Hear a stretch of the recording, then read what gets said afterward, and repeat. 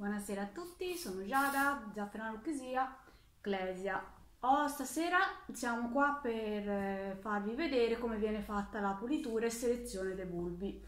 Allora, una volta tirati fuori dal terreno, li portiamo qua in laboratorio e vengono ripuliti dalle loro tonache, e tolta la madre che ormai è disidratata completamente, viene tolto, se vengono selezionati poi noi li spazzoliamo anche, vabbè quella è una cosa, una scelta nostra, non è obbligatorio, spazzoliamo per, dalla terra, in più li soffiamo e eh, vengono divisi per diametro, in pratica mh, mm, divisi come?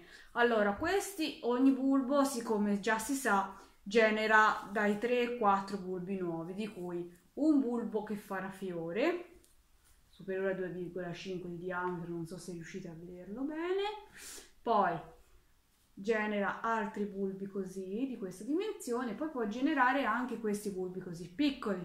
Allora, io come, come procedo?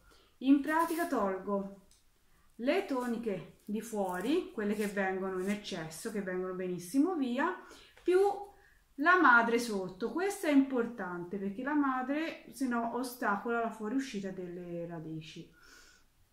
Poi una volta puliti, una volta puliti vengono selezionati, come ho già detto per diametro, per misura, vengono selezionati e in pratica questi da fioritura li mettono in una cassetta a sé.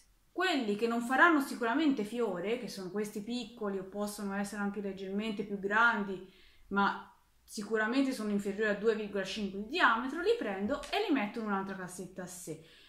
Così facendo, io quando andrò a ripiantare all'inizio di settembre, così facendo eh, avremo, sapremo già che fa, que, i bulbi dove sono stati piantati, nelle, i bulbi che sono stati piantati quelli a 2, superiori a 2,5 di diametro sono fiori, a fioritura, gli altri no eviteremo così facendo di andare uh, tutti i giorni a vedere se hanno fatto i fiori, però bisogna almeno una sei volte per settimana un controllo eh, per eventuali malattie e infestanti. E che uh, nient'altro da dire che pulitura, le toniche in eccesso e la madre.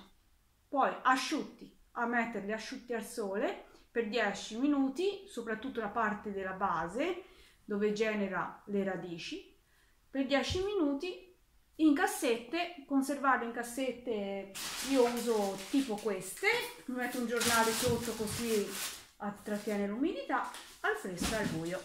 Vi ringrazio per l'attenzione, buona serata, arrivederci, saluti!